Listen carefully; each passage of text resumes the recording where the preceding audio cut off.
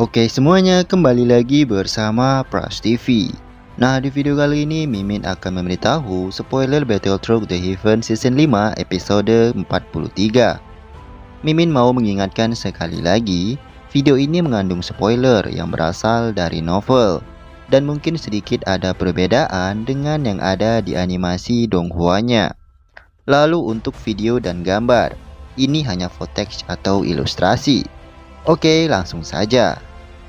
Di episode ini kita akan melihat Xiaoyan yang telah memimpin Akademi Dalam dan Gerbang Pan terlihat sedang menuju wilayah Black Corner untuk mencari kakaknya Mang Oyen yaitu Xiaoli. Seperti yang kita ketahui, Xiaoli ternyata membuat sebuah aliansi untuk menyerang orang-orang kelompok dari Han Feng dan itu membuat Xiaoyan khawatir. Dan karena itulah Xiaoyan mencari Xiaoli ke wilayah Black Corner. Kemudian cerita pun berpindah ke para tetua, yang mana para tetua akademi dalam ini mereka terlihat sedang berdiskusi. Dalam diskusi itu, mereka memutuskan untuk membalaskan dendam terhadap Han Feng. Tentu saja ini adalah penghinaan besar. Lalu tetua Agung Sukian pun berkata kepada para tetua yang lainnya, dan dalam dua hari ke depan kita akan menyerang ke markas Han Feng, ucapnya. Selanjutnya cerita pun berpindah ke Han Feng. Ia terlihat telah pulih dari luka yang disebabkan oleh Xiaoyan dua tahun lalu. Dia pun juga mendengar praktisi yang dipimpin oleh Xiao Li telah menghancurkan anggotanya. Dia pun akhirnya menyuruh Fan Lao untuk membereskan Xiao Li dan juga organisasinya. Yang akhirnya Fan Lao segera bergegas pergi ke markas Xiao Li. Lalu cerita pun berpindah kepada Xiao Li yang berada di markasnya. Dia pun terlihat sedang berbicara dengan para anggotanya. Dan salah satu anggotanya mengatakan kepada Xiaoli bahwa Han Feng telah mengirimkan salah satu pasukannya untuk menyerang kita. Ketika mendengar itu, tentu saja dia akan bersiap untuk melawan pasukan yang telah dikirim oleh Han Feng tersebut. Kemudian cerita pun berpindah kepada Xiaoyan dan juga pasukan Gerbang Pan dan terlihat mereka pun telah tiba di perbatasan kota Black Corner. Lalu Xiaoyan sangat khawatir kepada kakaknya dan kemudian mengatakan kepada Lin Yan, Aku akan pergi terlebih dahulu, kamu bisa menyusul nanti, ucap Xiaoyan. Mendengar itu, Lin Yan pun mengatakan, Baiklah, ucapnya. Yang akhirnya Xiaoyan pun pergi terlebih dahulu. Lalu Linian pun mengatakan kepada para pasukan yang lainnya untuk segera bergegas menyusul Xiaoyan. Aku takutnya Xiaoyan akan menghabisi pasukan itu seorang diri, ucapnya. Cerita pun berpindah kepada Fan Lao, yang ternyata Fan Lao telah berada di dekat markas dari Xiaoli. Dan tidak lama itu, Fan Lao pun tiba, dan Xiaoli pun melihat pasukan yang akan menyerangnya. Terlihat mereka dipimpin oleh empat orang elit yang mana ada tiga orang berlevel Dowang dan satu berlevel Dohuang. Tidak diragukan lagi dan pemimpin mereka yang berlevel Dohuang ini tidak lain adalah pemimpin sekte darah Fan Lao. Xiao Li pun kemudian melihat Fan Lao dan terlihat dia sangat marah karena Fan Lao dan yang lainnya telah menyerang akademi dalam sebelumnya. Fan Lao lalu mengatakan, akhirnya aku menemukanmu, ketua organisasi tanpa nama. Kau telah banyak menghancurkan organisasi kami, dan aku tidak akan memaafkanmu, ucapnya. Di sisi lain, Xiaoli pun telah bersiap untuk bertarung dengannya. Namun Xiaoli tahu ada tiga orang doang, dan satu Dong Huang ini pasti akan membuat dia kesulitan. Dan kemudian pertarungan di antara mereka pun tidak terhindarkan. Terlihat Xiaoli pun harus menghadapi tiga doang sekaligus. Dan dalam penyerangan ini, Fan Lao yang bersama tiga doangnya berhasil dengan mudah memporak-porandakan organisasi Xiaoli. Telah banyak korban berjatuhan akibat penyerangan yang dipimpin oleh Fan Lao ini. Mungkin ini semua karena pasukan yang dipimpin oleh Fan Lao terbilang kuat, yang membuat organisasi yang dipimpin Xiaoli banyak yang tewas. Bahkan Xiaoli yang sekarang dia berada di peringkat Dowang, dia terlihat sangat kesulitan saat menghadapi tiga Dowang dan satu Dohuang sekaligus. Dengan begitu, Xiaoli dan organisasinya didesak oleh orang-orang dari organisasi yang dipimpin oleh Fan Lao dan telah banyak korban yang berjatuhan dari pihak Xiaoli. Dengan melihat Xiaoli dan aliansinya terpojok, terlihat Fan Lao sangat senang karena dia akan berhasil menghancurkan praktisi yang dipimpin oleh Xiaoli. Dan tentu saja dengan berita ini nantinya Han Feng pasti akan senang. Fan Lao yang melihat Xiaoli telah terdesak, dia pun berniat untuk menghabisi Xiaoli. Serangan pun dilancarkan Fan Lao, namun ketika serangan itu melesat ke arah Xiaoli, Tiba-tiba ada seseorang yang muncul di depan Xiaoli. Pria itu terlihat memakai jubah hitam dan segera menghadang serangan Fan Lao. Fan Lao terlihat sangat kaget dengan munculnya sosok yang misterius itu. Up, kaget. Dan dia terlihat tidak mengetahui bahwa itu adalah Xiao Yan. Lalu dia pun mengatakan, tidak usah ikut campur dengan urusan orang lain. Dengan mendengar itu, Xiao Yan pun tersenyum dan mengatakan, tidak kuduga, selama dua tahun ini ternyata kau menjadi sangat kuat, ucapnya.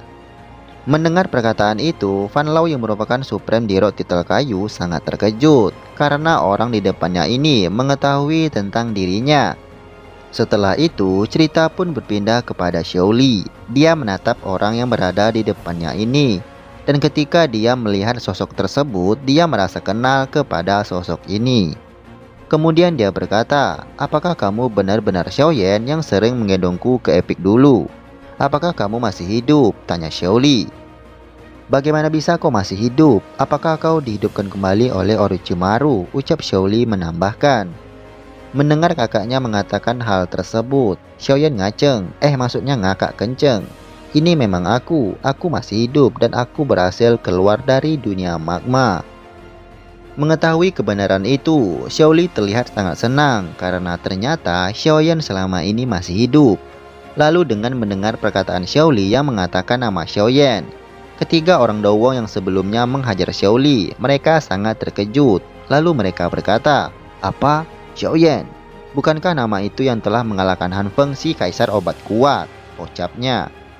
Fan Lao yang merupakan ketua sekte darah, dia pun terlihat sangat terkejut dan terngiang-ngiang karena mendengar nama Xiao Yan.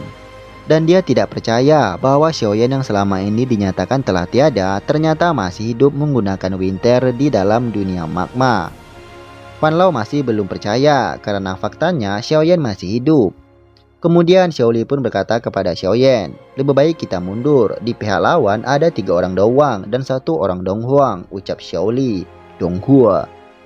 Mendengar perkataan Xiaoli, Xiaoyan hanya tersenyum. Ia mengingat dengan jelas pertarungan sebelumnya.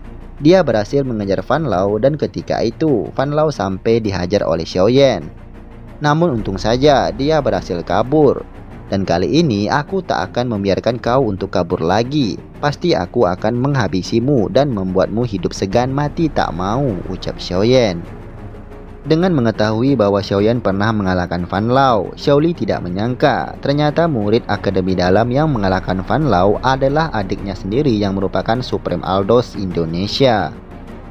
Kemudian Xiaoyan pun mengatakan kepada Xiaoli, lebih baik kau beristirahat dulu dan jangan lupa menghisap rokok magnum. Lalu lihatlah pertarunganku. Aku akan menghajar tiga orang dua itu dan Fan Lao si beban parah dari sekte darah tersebut, ucap Xiaoyan. Mendengar itu, Xiaoli terlihat kaget karena Xiaoyan akan melawan mereka secara bersama-sama. Lalu Xiaoyan maju ke depan dan langsung mengeluarkan pedang besarnya dengan aura api surgawi yang menggelora di dalam tubuhnya.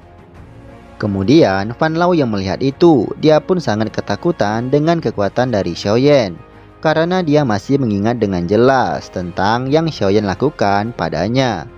Saat itu dia dihajar habis-habisan oleh Xiao Yan. Namun dia pun juga merasa marah terhadap dirinya sendiri. Karena di pertarungan sebelumnya itu, ia telah dikalahkan oleh seorang anak muda yang levelnya lebih rendah darinya. Setelah kejadian itu, Fan Lao pun selalu diejek oleh orang-orang dari wilayah Black Corner dan juga membuat reputasi sekte darah merosot dan tidak memiliki martabat lagi akibat kekalahan itu. Lalu ia mengatakan bahwa sekarang ia akan bertarung dengan semua kekuatan yang dia miliki, ucap Van Lau. Sekarang mereka telah bersiap-siap untuk bertarung. Namun ketika mereka hendak bertarung, tiba-tiba ada cahaya merah muncul di atas langit yang ternyata itu adalah Ratu Medusa. Ternyata Ratu Medusa selama ini telah mengikuti pergerakan dari Xiaoyan dan terlihat mungkin dia masih marah karena Xiaoyan menanamkan benih kelengkeng saat mereka masih berada di dunia magma. Lalu Medusa pun mengatakan kepada Xiaoyan, sekarang siapa lagi yang akan melindungimu dan sekarang tidak ada siapa pun, ucapnya. Dengan melihat sosok wanita yang sangat kuat itu ternyata musuh Xiaoyan, Fan Lao pun sangat senang dan menawarkan kerjasama kepada Medusa untuk mengalahkan Xiaoyan. Mendengar itu, tentu saja Medusa pun menolak hal tersebut karena Medusa tahu bahwa Fan Lao hanyalah tua bangka yang sudah bau tanah. Kau tidak layak untuk bekerjasama denganku, jawab Medusa. Mendengar itu, Fan Lao merasa kesal akibat ditolak oleh Medusa untuk bekerja sama. Dengan melihat Medusa yang datang hanya ingin mengacaukan semuanya, Xiaoyan kemudian menatap dingin ke arah Medusa. Medusa yang ditetap dingin oleh Xiaoyan, ia pun memalingkan wajahnya. Lalu Xiaoyan mengatakan, Bukankah kita bisa menyelesaikan masalah ini di masa depan? Jika kamu tetap memaksa, aku terpaksa juga harus menghabisimu atau menanamkan benih lagi ke mulut bawahmu, ucap Xiaoyan. Medusa yang ditetap dingin oleh Xiaoyan, dia pun menjadi bingung karena selama ini tidak ada orang yang berani menatap dingin dirinya. Ditambah lagi, Xiaoyan berniat untuk menghabisinya. Dasar jantan tidak tahu diri, ucap Medusa di dalam hatinya. Lalu Medusa pun mengatakan kepada Xiaoyan, hidupmu adalah milikmu, cepat atau lambat, kamu harus bertanggung jawab, ucapnya. Setelah mengatakan itu, Medusa pun tersenyum dan tiba-tiba menghilang dari pandangan Xiaoyan. woman. Akhirnya Xiaoyan pun kembali berhadapan lagi dengan Fan Lao. Terlihat Xiaoyan langsung mengeluarkan dua api surgawi miliknya. Kemudian api surgawi itu langsung mengelilingi tubuh Xiaoyan dan mengeluarkan panas yang mengerikan yang membuat area di sekeliling Xiaoyan meleleh akibat pancaran api surgawi ini. Pan Lao yang melihat api surgawi Xiaoyan itu, dia pun sangat terkejut karena itu adalah api hati surgawi. Pan Lao tidak menyangka ternyata Xiaoyan telah berhasil menelan inti api hati surgawi yang diinginkan oleh Han Feng sebelumnya. Kemudian Xiaoyan tanpa basa-basi, dia langsung melemparkan api surgawi kepada Fan Lao dan ketika Dawang itu, Pan Lao yang melihat serangan tersebut, ia tahu itu adalah serangan mematikan dan dia pun langsung mengeluarkan doci merah darahnya untuk menahan serangan Xiaoyan. Dan begitu pula dengan ketiga orang doang yang membantu Fan Lao untuk menahan serangan api surgawi dari Xiaoyan. Lalu bentrokan kekuatan dahsyat tidak terhindarkan di antara mereka. Dengan bentrokan dahsyat tersebut membuat Fan Lao dan ketiga dawangnya terpental tidak berhenti sampai di situ, mereka masih bangkit dan kedua belah pihak pun saling baku hantam. Dan tentu saja dengan kekuatan Xiaoyan saat ini, meskipun Fan Lao dibantu oleh tiga doang, ia terlihat masih kewalahan dan terdesak saat menghadapi Xiaoyan. Kemudian Xiaoyan menyerang dengan sangat kuat yang membuat Fan Lao terpental jauh ke belakang lagi. Namun ketika Fan Lao terpental, dua doang lainnya terlihat sedang mendekati dan ingin menangkap Xiaoli. Melihat itu, Xiaoyan pun berusaha untuk menolong Xiaoli. Namun sepertinya Xiaoyan sudah terlambat karena dua orang doang itu telah mendekati Xiaoli. Ketika mereka hendak menyerang Xiaoli, tiba-tiba ledakan yang sangat kuat pun muncul dan ternyata itu adalah sang dukun beranak Lin Yan dan juga bocil kematian Zian.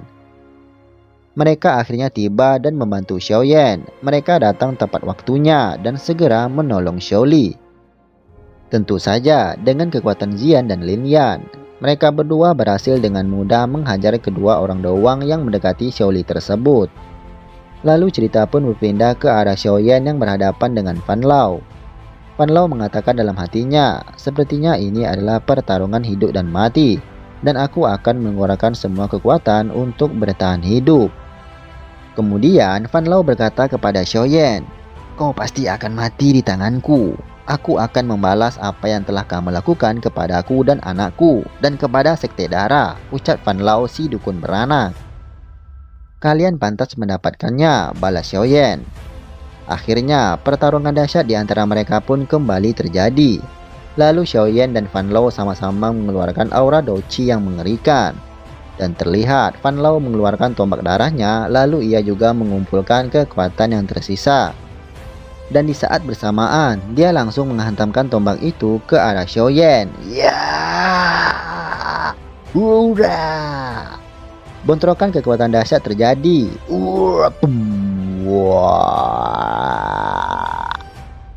Dan akibat bentrokan ini, Van Lau terpental jauh dan memuntahkan banyak darah. Tidak berhenti sampai di situ, Xiaoyan langsung mengambil kesempatan ini untuk terus menghajar Van Lau. Dear, dear, tinjuku tidak mungkin meleset. Dengan begitu, akhirnya tubuh Van Lau pun hancur dan Van Lau harus mati di tangan Xiaoyan enemy has been slain.